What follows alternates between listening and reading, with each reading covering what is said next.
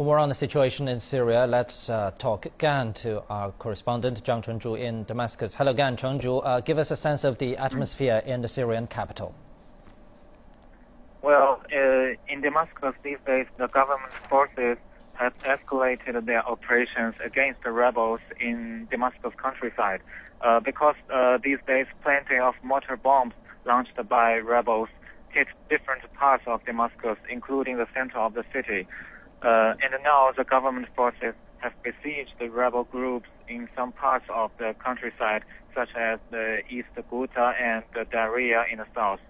Uh, another thing that was mentioned is that the government forces has uh, found the main road uh, through which the rebels in the Damascus countryside get supply from Syria's south border with Jordan.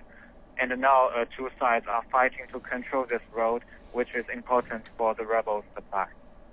Well, as we mentioned earlier, one of Syria's most uh, outstanding rebel groups, the Al Nusra Front, has pledged its allegiance to Al Qaeda. Uh, what's the significance of this move? Uh, actually, Syrian government has long accused the Nusra Front of uh, conducting terrorist attack, attacks inside Syria, uh, and considered Nusra Front to have relationship with Qaeda and yesterday Nusra Front just publicly admitted that.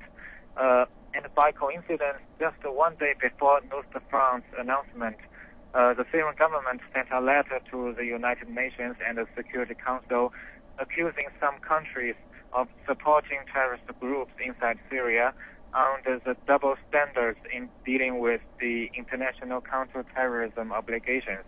And the Syrian government demanded the Security Council to send a clear message to the terrorists and to those who support them to show its commitment to the fight against the terrorism.